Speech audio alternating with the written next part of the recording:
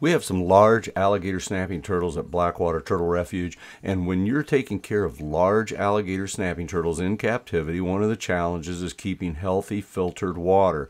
We like stain of tannins in the water, but keeping the water clean and healthy is always a challenge, and we've really mastered that challenge by using an upflow filtration system. Now this alligator snapping turtle weighs 122 pounds and he's just been offered three pounds of catfish. When he eats that, makes a huge mess and then defecates in the water.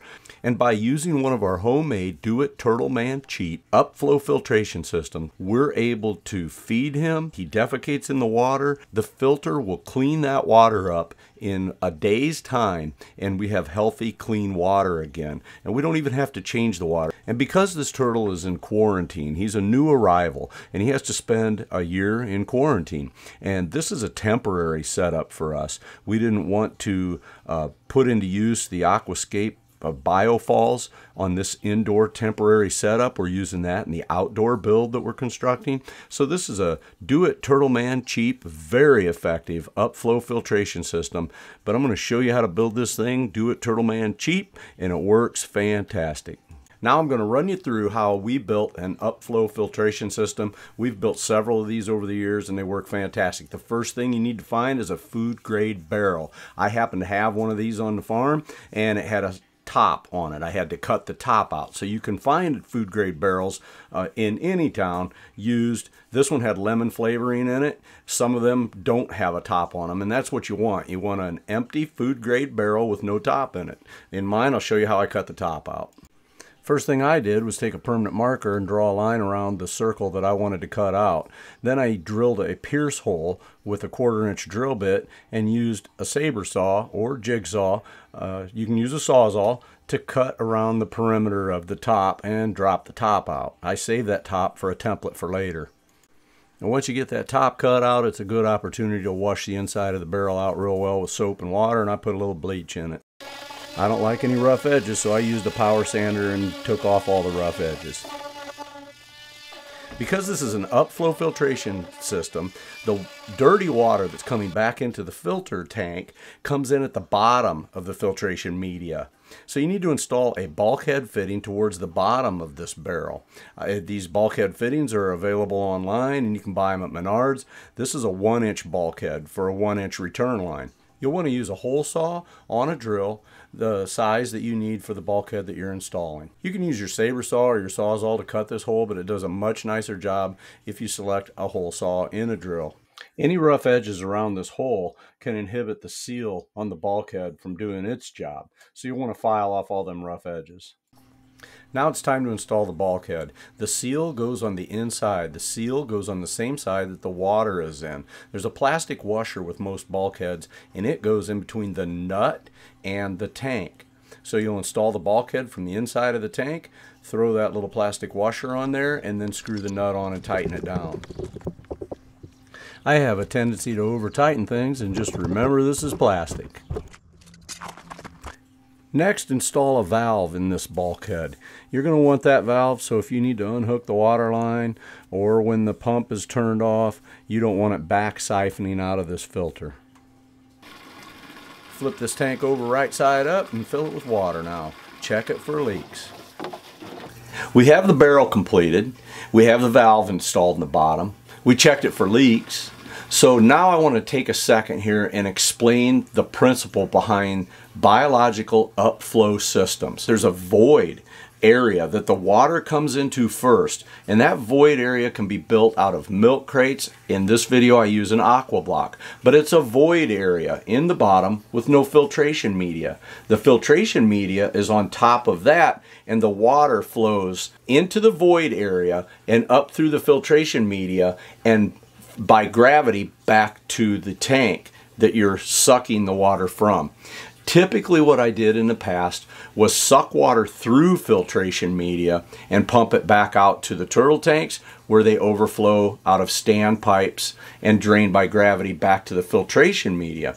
But when that uh, filtration media became compacted with sediment, it would never uh, backflush well enough to really get clean and unclog. And eventually the sediment would build up in there to the point that it was creating gases.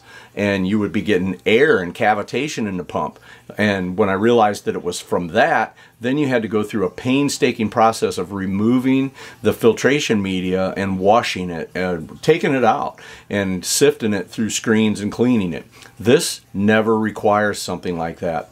The sediment collects in a voided area that doesn't restrict the water from going in there and up through the filtration media. So it works fantastic. Uh, when we converted our large filter system that filters thousands of gallons of water here at Blackwater to upflow, I haven't had any maintenance requirements on it for three years. So it's filtering all the water. The living organisms that are in these biological balanced filter systems are consuming the waste. It breaks down into a sediment that lays in the bottom and harbors more of the beneficial bacteria. Eventually, it'll need uh, drained. You open the drain, and that sediment will go out the drain. Simple, it works fantastic. I'm showing you how to build one. For the dead space at the bottom of the filter I'm building, I'm going to use an aqua block. You can use a milk crate. An aqua block works great. Either one is square. I saved the top that I cut out of the barrel as a template so that I can cut the square aqua block round into the same size that I need to drop down into the barrel. Once I finished cutting that aqua block into something round that would fit down in the barrel, I dropped it down into the bottom of the barrel. And this is what I would put my first layer of coarse filtration media. My layer of coarse filtration media would be river rock. So I washed all the dirt off of the river rock.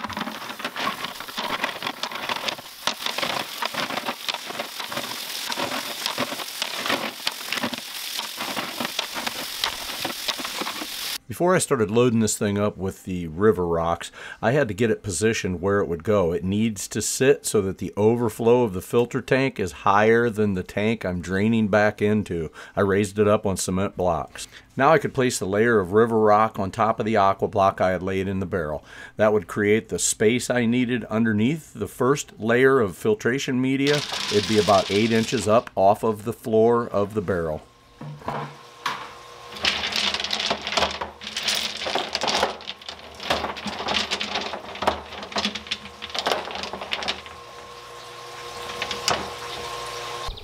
My next layer of filtration media, I chose Lava Rock. It's cheap. I bought it at a local big box store. You can buy it at landscaping companies. It says red lava rock, and boy, is it. So it needs washed. You need to wash it until all the red stops coming out of it. Another reason I like to use the lava rock is it's porous. It has a lot of surface. That surface and all that porosity in the rock is what harbors the beneficial bacteria. I put my lava rock in mesh bags with zippers because this is a temporary setup and I will be taking that back out and I thought it would make it a little bit easier. I can just pick up each one of the zippered bags, wash them off, and store them in a bucket for another day.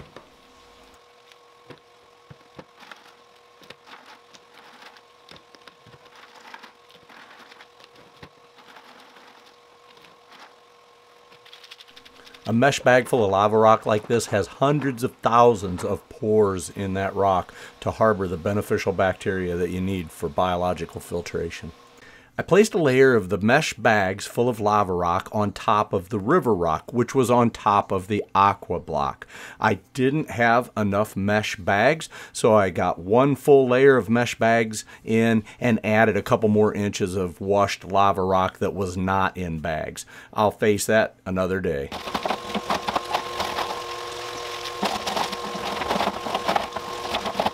Next was to install the overflow bulkhead. I could have done that earlier. I had to lay towels down on top of the lava rock to catch the dust from me using a hole saw to install this large bulkhead. This would be my overflow. The water would rise up to that level, overflow back into the turtle tank. I found a piece of 2 inch flex PVC that was in my recycle bin and with some thread tape on it, screw it into that bulkhead and it will trail off back into the turtle tank. And with the two inch return line screwed into the bulkhead, I fed the other end through a protection wall that was on top of this tank to keep the turtle in. That part of it was done. Next was to get the water flowing through this thing, so I had to install a pump. Now I've used a lot of different pumps in the last 38 years, and I have found these Aquascape water pumps to be some of the best with the highest output and lowest energy consumption that I've ever had. And as far as the longevity, they're through the roof. Now I needed the Ultra 800 for this. I needed to build something uh, alligator snapping turtle proof that was Turtle Man cheap to put this pump down in. I wanted it close to the surface I chose to cut slots up and down in this PVC so that when the water level goes up and down due to evaporation, it, the pump won't run dry and it'll still skim the surface through those slots. I used a single piece of one inch water line. You buy it at big box stores in 25 foot lengths, 50 foot lengths, 300 foot lengths. It's for underground burial of water lines to like barns and things, but I used it so that I would have no fittings. And we weren't going for beauty here, and it's a temporary setup, so I could run a single piece all the way from the pump to the bottom of the upflow filtration system. Had a little trouble getting it on the pump, and the hot air gun saves me on that. Warm up that pipe, it slides right over there with a nice watertight fit. After I had the water line hooked up, I dropped the pump down in that white PVC sump I had built and then topped off the tank with water. I ran the other end of the water line over to the upflow filtration system, warmed it up with the hot air gun, and pushed it on the valve at the bottom of the upflow system. And with the pump down in that sump running, feeding that water line all the way over to the upflow filter at the bottom, the water is rising up through that space, through that river rock, through the lava rock, and over the top of that bulkhead, draining through that two inch PVC line and back over to the turtle. So it's an incredible system. Now, when it drops into the tank, out of that 2 inch PVC, it's getting some aeration, but later I'll add aeration in that filter tank on top. And there's the aeration happening there. That helps to uh, activate those enzymes and bacterias and keeping everything in a healthy situation. This filter worked better than I had even anticipated.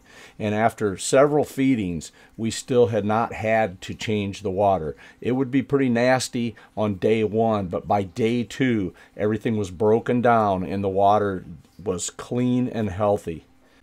Now keep in mind when you build something like this, you have to run it for a couple of weeks before all of the bacteria grows and, and the longer it runs and the more that the biological balance takes place, the better it works. I want to thank you for watching. I enjoyed showing you how I made this filter. Hopefully somebody can go out there and save a buck and build one for themselves. Hit subscribe, push that notification bell, follow me on YouTube. Don't carry that mountain, climb it. Go out and love what you do.